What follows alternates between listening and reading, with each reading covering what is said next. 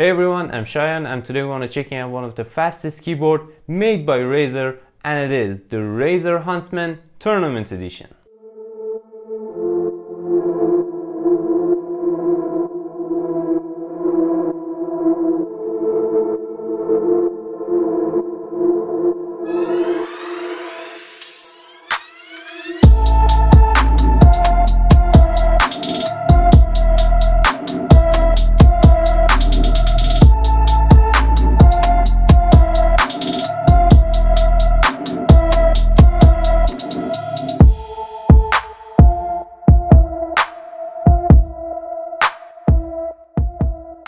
As you know, the Tournament Edition series in Razer keyboards is stand for compact without numpads and being the TKL layer like this one. And I really like the TKL keyboard because it's lighter than the full size keyboards and you know it's really easy for travel. You just unplug it and put it in your backpack. But this keyboard is not that compact. It's 80% and if you're looking for the super compact keyboards, you should probably check the Razer Huntsman Mini or the one and check the Amazon link on the description.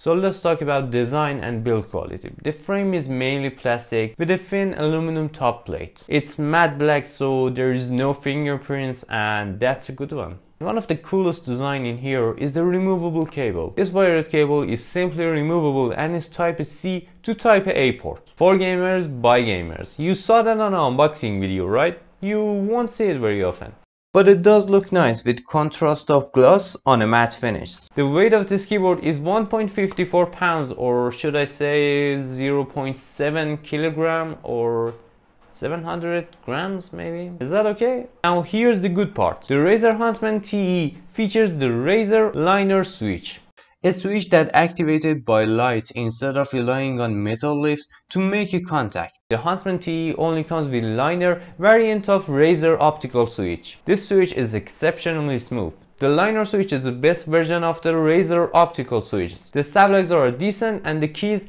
feel very light and super sensitive. So if you're looking for tactile or clicky, you're going to have to look another keyboard because the liner switch is a very fast keyboard with an actuation point near the very top at 1 millisecond. It's half of the Cherry MX switches, so yeah, it's very fast. And when you try it, you definitely notice the speed and how lightly you can type with this keyboard. These switches are great for gaming, but you have to be very careful. Because as I said, it's super sensitive. I don't want to lie about it, but it took me a while to get used to it. And now I can't use any other keyboard, so yeah.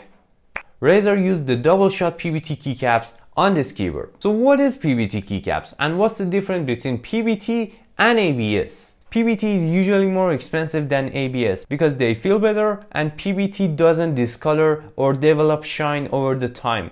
Some people say the PBT keycaps are better to showing the RGB backlighting. But I really think it's your choice and it's up to you. You can choose the shiny ABS or the matte PBT. The stem of the switch is still compatible with all Cherry MX keycaps, allowing you to put whatever set of keycaps you like on this keyboard. The keyboard is reasonably ergonomic. It is great on typing or gaming, although it has fairly high profile. It doesn't come with wrist rest, but if you really want it, you can get it from the Razer website or the Amazon. This keyboard also have a 2 pin on the back to adjust the incline. Usually a flatter or even inverted profile is considered more ergonomic and can help you to prevent the strain injuries. The Huntsman TE is completely packed for RGB lighting and macro keys and you can customize it with Razer Synapse 3 software. All you have to do is just download and install the Razer Synapse 3 which have a multiple effects and you can always customize the color and the speed. And that's how the RGB lightings are when you put out the keycaps and this effect is the audio meter with a little decoy on it. On the other side, we have the Chroma Visualizer, which is exactly audio effect on the studio but it has more setting to customize the lighting. Here's the exact custom sets that I'm using right now, but which one do you prefer? Let me know in the comments. We also have the hypershift to set different things for each key. And you can set the gaming mode to disable the Windows key. The Razer Huntsman Tournament Edition is an outstanding mechanical gaming keyboard. The liner optical switches have an incredibly short pre-travel distance that make it one of the most responsive keyboard I've tested. It might seem a bit expensive, but I'm telling you, you will never tire of this keyboard, especially on gaming. So here it is, the Razer Huntsman Tournament Edition. I hope you enjoyed and thank you for watching this video. Don't forget to like this video and subscribe my channel. And see you guys on the next video.